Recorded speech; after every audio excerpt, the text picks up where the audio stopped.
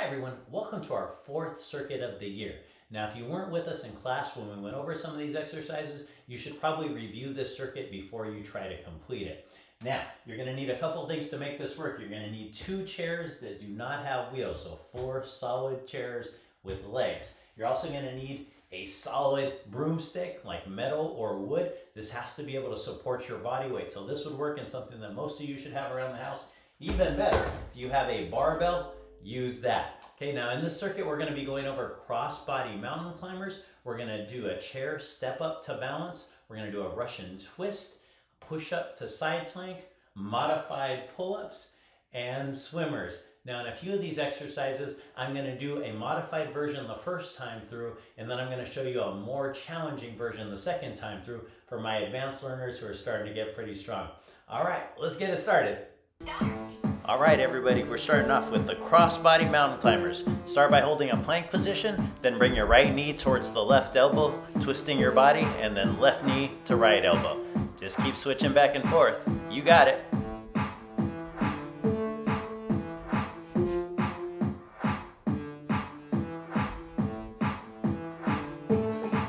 Remember to keep looking at the ground. Good job.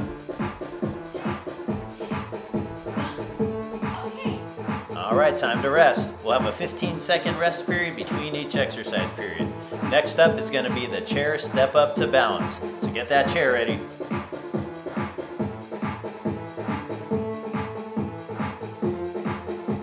All right, everybody, here we go. Just step up onto the chair. Make sure not to use your arms. Keep your back straight and step in the middle of the chair for your own balance and so the chair does not topple over. Make sure you're alternating legs, right leg, then left leg. Great job, everybody. Let's get those legs strong. Hamstrings, quadriceps, gluteus maximus.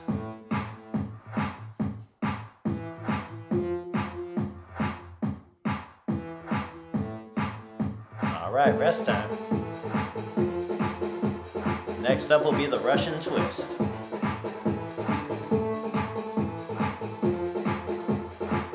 Go ahead and take a seated position. Right, here we go. All we're gonna do is try and twist side to side, maintain that V body position. If you can keep your feet off the ground, that's best. Try to keep your feet as stable as possible. The modification is put your feet on the ground. We're working all core here, abdominal muscles, obliques, and lower back muscles. You got it.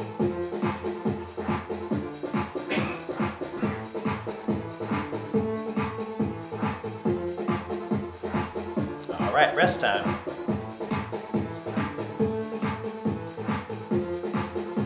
Next up, we're going to push up to modified side plank.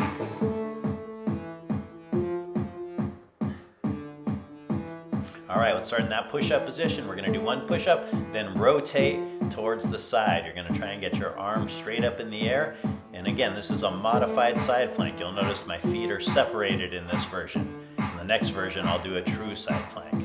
Now for further modification, if you're struggling with this, you can also do it from your knees in the modified push-up position.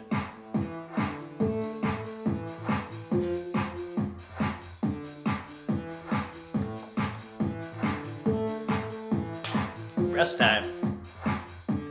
Next up will be the modified pull-up, so make sure your chairs are ready with the bar across. We're gonna lay down on the floor facing the bar.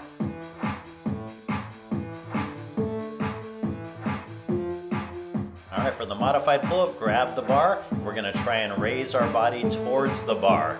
Now in this version, my knees are bent. That makes this a little bit easier.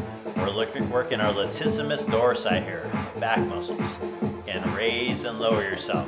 Now if your chairs are a little bit short, you can also just hold yourself in the elevated position at the top.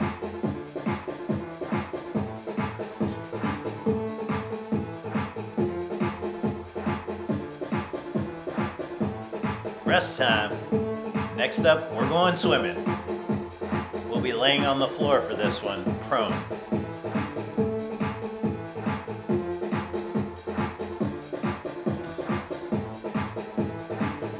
All right, for swimmers, we stay facing the floor. We're gonna lift our opposite arm and leg up. So right arm, left leg, pause for a brief second or two at the top, then switch to left arm and right leg. Here you'll feel your lower back muscles hamstrings, and gluteus maximus. Keep swimming.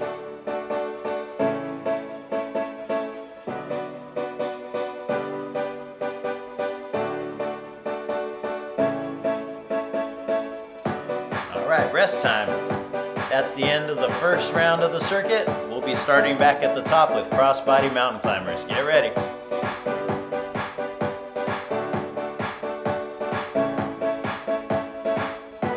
All right, here we go. Back to the crossbody mountain climbers. Right knee to left elbow and vice versa. And we're working core here, obliques, abdominals, and lower back muscles. We're also increasing our upper body strength. Now as you start getting the process down, you can start increasing your speed, but form comes first. Good job, everybody.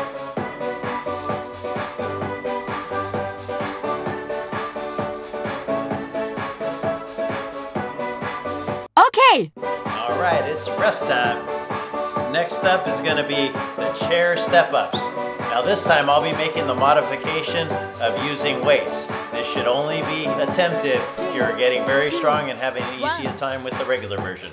All right, here we go. So you'll notice this time I'm holding weights in each hand, but my form is exactly the same. Back is still straight. I'm stepping on the middle of the chair each time, and I'm raising my opposite leg to a balanced position. Got it.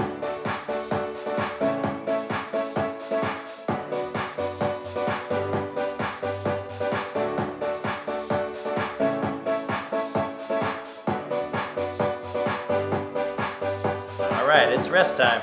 Next up, back to the Russian twist.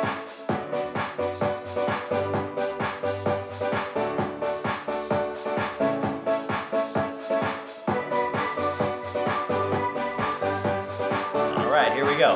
Again, feet elevated is the proper way to do these. If you need to modify it, go ahead and put your feet on the ground. Either way, you're working your core.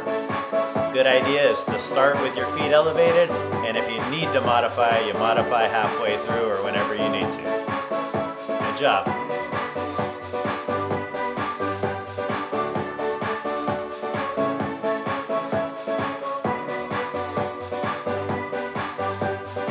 All right, it's time to rest. Next up, we'll be going back to the push-up to a true side plank this time. So this time you'll notice I'll have my feet stacked in a true side plank. This will be much tougher. All right, here we go. Again, push up, then rotate into a side plank. Again, my feet are stacked here, so this is the most difficult version of this. Modify it as you need to, with feet separated or from a kneeling position. Either way, we're getting a stronger pectoralis major along with our triceps and working the core as well.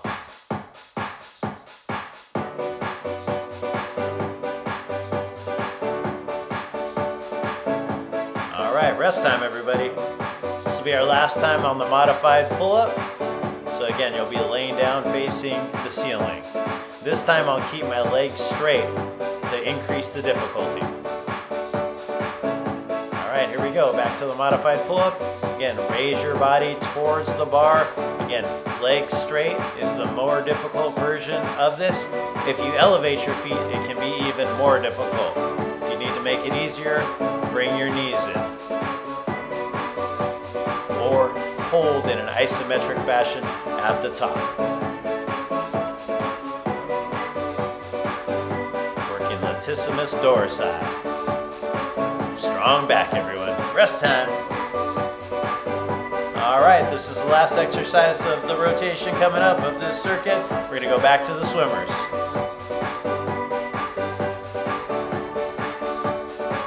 All right, here we go. Lay prone.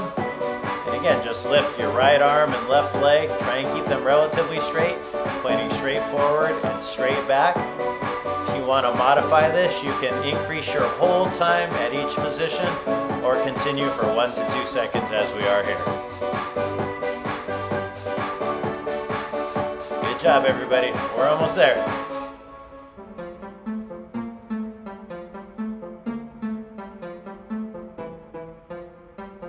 All right, great job today on completing the circuit. Now, as you continue to practice this circuit and you continue to build your muscular strength and endurance, try doing the more challenging version of the exercises that I showed you. Also remember that two times through only took us about nine minutes and we should be active at least 60 minutes of every day. And the more of that activity time you can dedicate towards doing things that build not only your muscular strength and endurance, but your aerobic capacity, which is the great thing about circuits that does both at the same time, the better off that you're going to be, the healthier and stronger you're going to be. Another good idea, aside from doing this one again, would be to start combining the circuits that you know. Combine circuit one and four, or circuit two and three, or any combination of these, and make sure you're doing this type of activity at least three to four days a week. The more, the better. All right, that's it for today, everybody. I'll see you next time.